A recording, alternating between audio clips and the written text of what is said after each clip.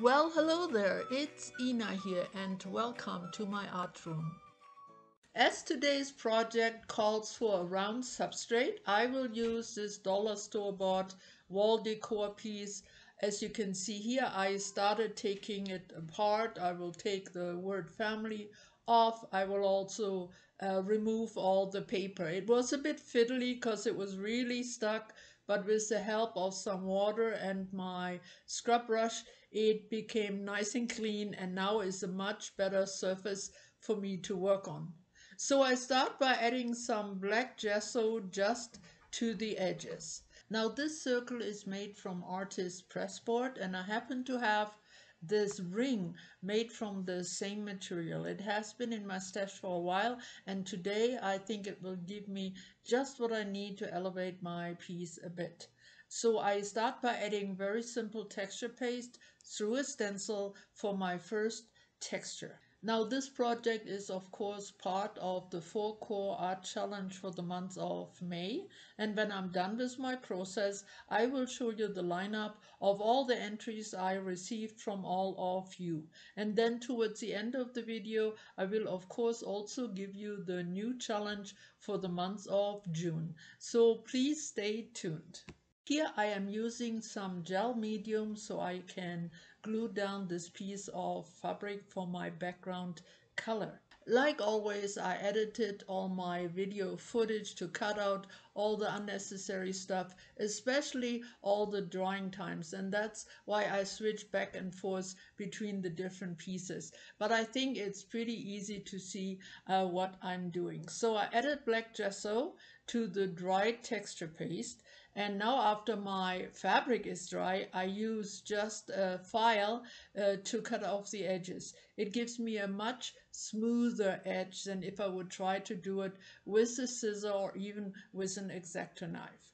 Next, I use some silver Rub 'n Buff to bring out the texture on the ring and then I will also add some to the edge of the circle. My project today will definitely have a resemblance to an assemblage, no surprise there, uh, but I will put it together quite differently. I actually had planned to do something completely different for this challenge, but when I was looking for the right pieces to use, I found some very interesting shapes in my box of metal bits and pieces. And they were just perfect to create this little figure you will see in just a few moments. So here are some of the things I will be working with.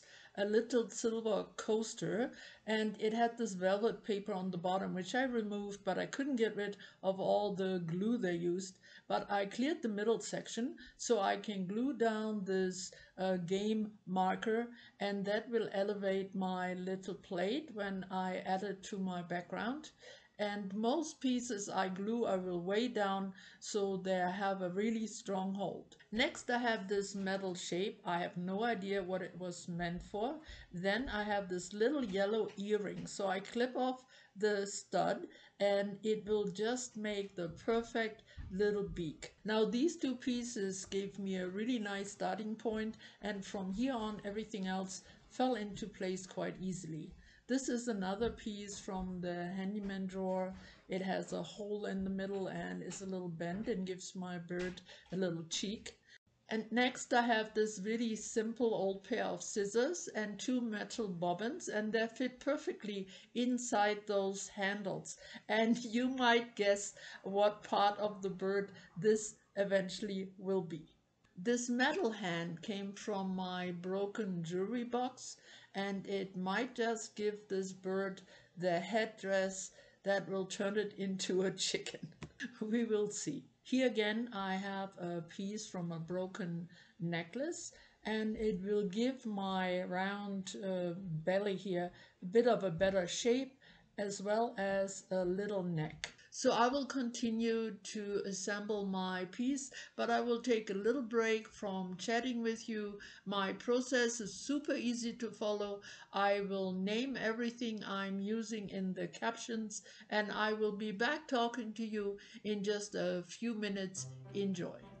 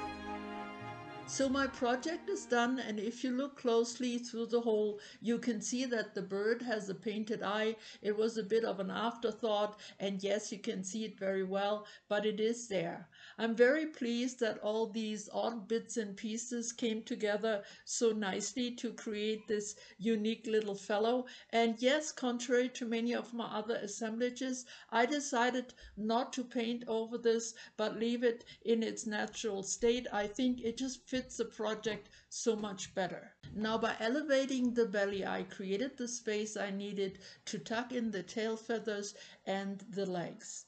And the ring helped to give me some texture. I used my stencil. I also have fabric for texture.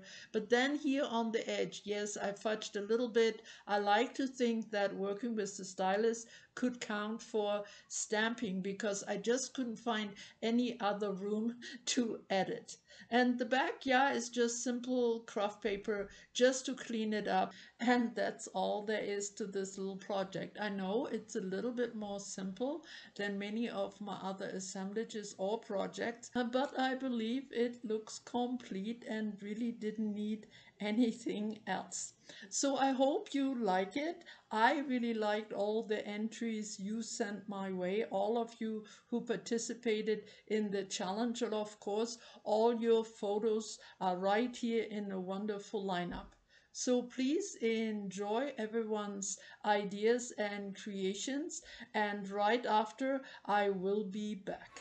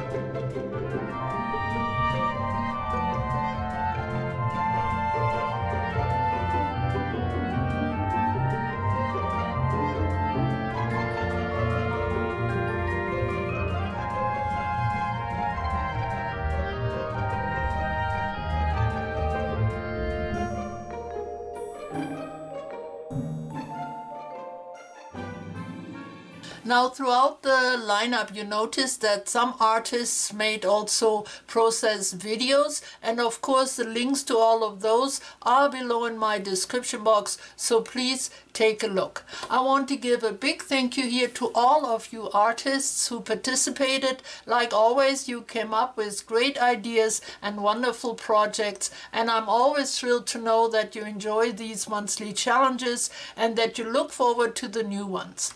Well, the new one for June is here. I again set a theme and I picked time. Now, first of all, when I hear time, I think about timepieces, uh, time-telling devices like clocks and watches. There are also the more unusual types like sundials and water clocks and many more. Especially in the past, many very interesting contraptions have been invented to tell time. Even today we have some very unique looking and working clocks and who knows what we will have in the future. So lots of different things that could give us inspiration for this challenge.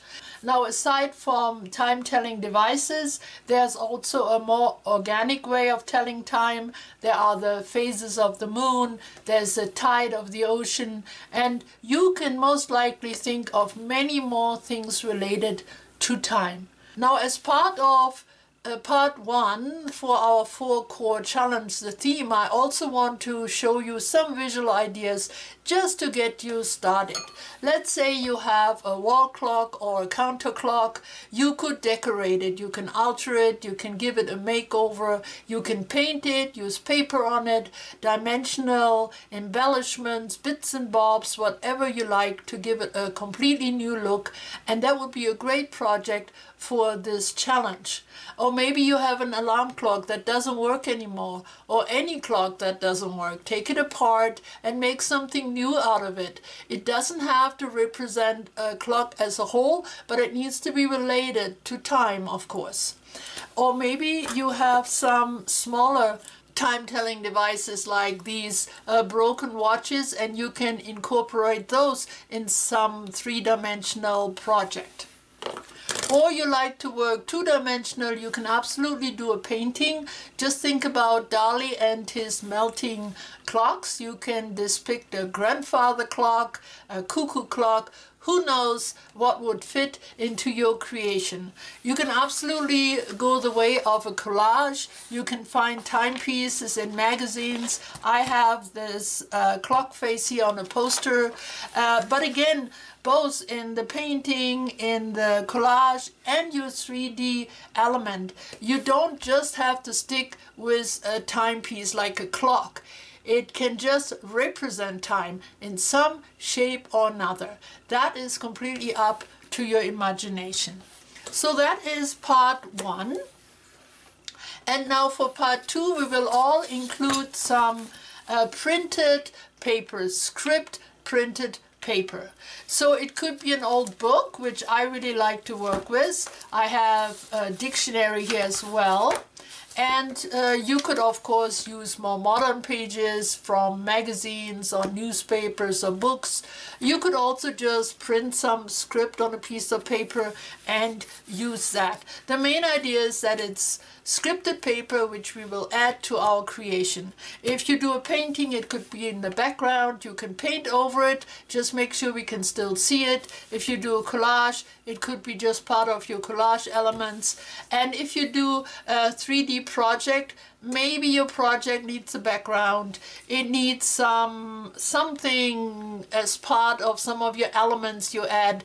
You just have to think a little bit outside the box how to incorporate it. So this is part two.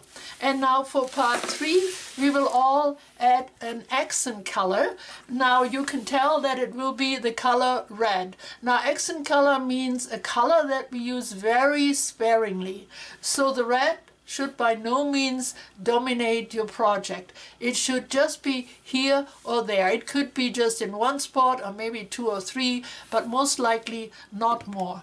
And what you use to add that red it just depends what you're working on. I pulled out a few examples, alcohol ink, there's a gelato, there's paint of course, there's a marker. You could also just add red paper. This is some craft paper. You could add fiber in red. This is one of those zigzag ribbons or fabric in red.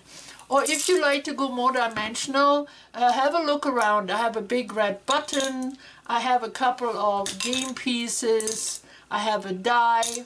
And I have some beads and I have a little shiny uh, cabochon. So anything red will do. It can either have red as its original color or you can paint it red.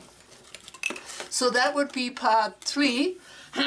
Sorry, I'm a little sore today, so my voice is not the greatest. And last and not least, we will name or label our creation. I think especially in this case it will be very interesting to know where your inspiration came from and what you were trying to portray. So please add it either within your project if it's suitable or on an extra piece of paper. And it could be all kinds of different things, but make sure that the word time is included. Now, we love to have quotes with time. They're all over the place. We say uh, time flies. We say time is of the essence or turn back time, the passing of time and those kind of things. This is another one. It says once upon a time. Now you do not have to use one of those more common quotes. You can absolutely make your own. But if some of those fit your project, use it. Here is a piece from a newspaper, the New York Times. Here's a little uh, poem. Those who give of their time are truly generous. And yes, if you cannot fit your title or your name within your project, just write it on a separate piece of paper and lay it next to your project when you take a photo so we can all see it. Either case, make sure your writing is big and clear enough so we can read it. So that's part four. So we have the theme, time. We all add a piece of printed script paper. We add the red accent color and we name or label our piece and the name will have the word time in it. So that's it for today. These are the four core elements. You will find them again at the end of this video and also below in my description box. If you have any questions, please just ask either in the comments below or send me an email. I'm always happy to hear from you. I thank you so much for watching today. I hope you enjoyed the video and I hope you will play along in this June challenge. Like always, you have the remainder of the months to work on your project. Just make sure that your photos arrive in my email before the month is up. Thank you so much for coming. I hope to see you really soon again. I will be back latest next week. Stay well, stay creative, and bye-bye for now.